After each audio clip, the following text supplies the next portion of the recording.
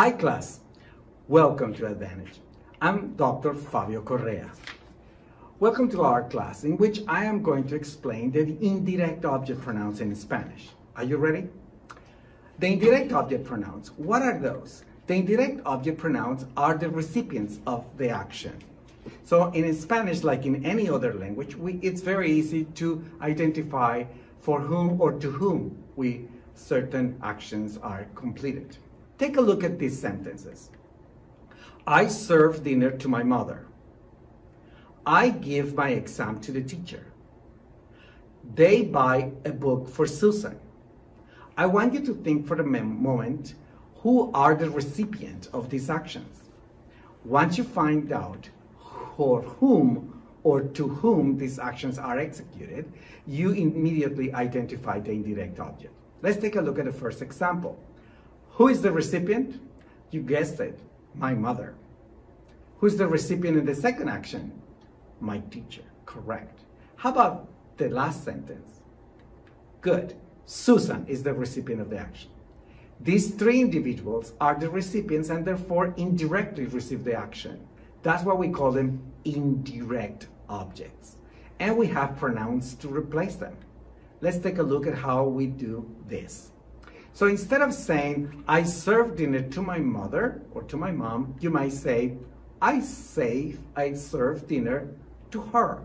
So to her is literally the pronoun that we use to replace my mom. In Spanish will be a little bit easier, and I'm gonna show you that in a moment. So the word her is really replacing uh, the person, the recipient of the action, okay? My mom. In Spanish, what are the indirect object pronouns? They are identified as OI, so they help us replace those. Um, pay attention in the sentence for these key prepositions, to and for, because as you can see in English, they refer to as recipient. I do something for someone, I do something to someone. Okay? They can replace to avoid emphasis. If you decide not to replace the indirect object pronoun, that is totally fine. It's up to the speaker.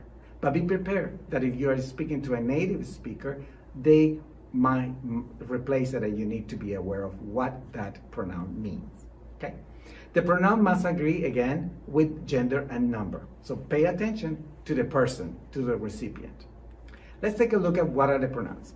These are the ones that we use in English, right? I use me, you, him, her, us, you, or them.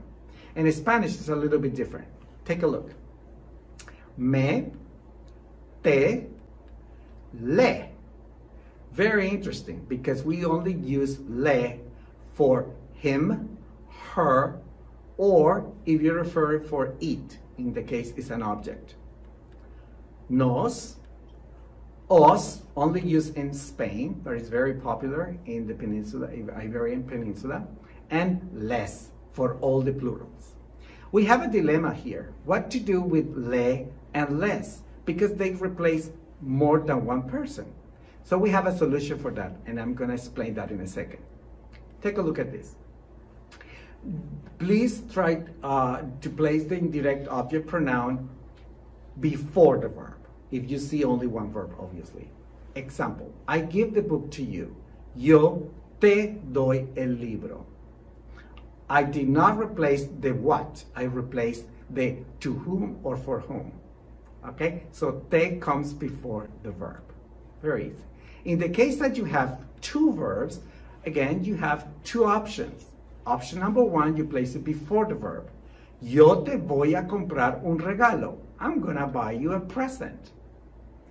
Option number two, you attach it to the second verb. Voy a comprarte un regalo. Notice that I attach it to the second verb. If you don't feel comfortable making this transition of adding an extra syllable to the second verb, be comfortable with option number one, placing it before the two verb structure. See, that simple? Let's talk a little bit more about what to do with indirect object pronouns that have that problem of replacing several people. What we do in Spanish is we clarify at the end of the sentence to whom or for whom these actions are executed. Take a look. for me, a mí, a ti, a él, a ella, a usted. That's how we solve the problem of le. A nosotros, a nosotras, a vosotros, a ellos, a ellas, a ustedes. These last three replaces les, and it makes us clarify. Let's take a look at some examples. ¿A quién le das la tarea? To whom you give the homework. You might respond, yo le doy la tarea al profesor. So it's very easy for us to tell a mi profesor to clarify that le is him. I could just simply say, le doy la tarea. But the speaker, the recipient of the action may not understand who is this le. That's why we use a mi profesor. ¿A quién le vas a comprar regalos? Les voy a comprar regalos a mis padres. Notice I said a mis padres to clarify the use of les. Or you can attach it to the second verb. Voy a comprarles un regalo a mis padres. See? By using the preposition a and stating to whom that action is performed, clarifies the use of le or les. You can use this same structure with other people, like to me, but it's not necessary. But in third person singular and plural, it's probably a good idea to clarify it. All right, let's take a look. Which verbs would use an indirect object? Be very attentive of what kind of verb they use this. There are certain verbs that immediately makes us think, yes, this verb has a recipient. Take a look. Servir, decir, mostrar, regalar, mandar, dar, enseñar, prestar. All these verbs can be performed for someone or to someone. For example, take a look at the verb servir, to serve. To whom? That's why we need an indirect object pronoun with that verb. Not all the verbs require indirect object pronoun. Let's try. If I say in Spanish, el profesor explica la lección a mí, teacher explains the lesson to me, what would be the pronoun that you would use to substitute to me? Correct, me. El profesor me explica la lección. To make emphasis, I would say a mí, to me. La niña da regalo a sus primas. La niña da regalo a sus primas becomes la niña les da regalos a ellas. I use les to substitute primas, and I say a ellas as the pronoun to substitute primas. So this sentence is much shorter, much abbreviated, and that's the way we speak in Spanish. One more example. El jefe presta dinero a sus empleados. The boss lends money to his employees. The employees are the recipient of the action, correct? So what would be the pronoun that we use? We will use les. How many verbs do we have here? Just one. So let's place it before.